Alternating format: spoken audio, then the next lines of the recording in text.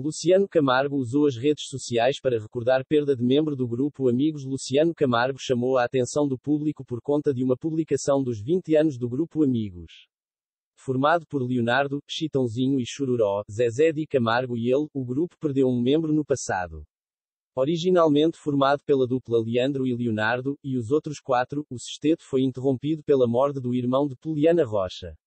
Sendo assim, os cinco participantes decidiram continuar. Em uma foto que retrata como foi a decisão de seguir com o grupo, Luciano Camargo conta detalhes daquele momento.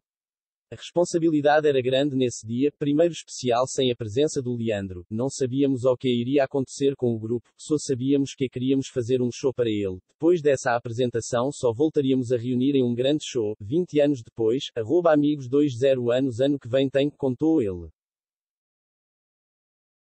Dessa maneira, os fãs ficaram surpresos com a revelação e não deixaram de comentar. Para muitos, os amigos são a grande representação do sertanejo raiz.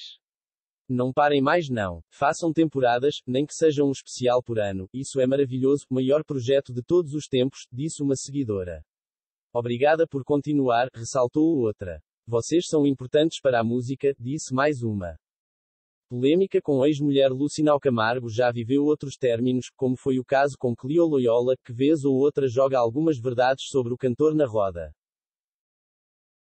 Além de acusar Luciano Camargo de ser homossexual, a influenciadora e youtuber já colocou na roda a relação do artista com o filho, Wesley Camargo.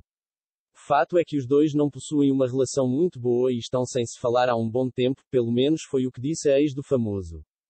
Cleo Loyola declarou ainda que o irmão de Zezé nem se importa com a neta, de apenas oito aninhos.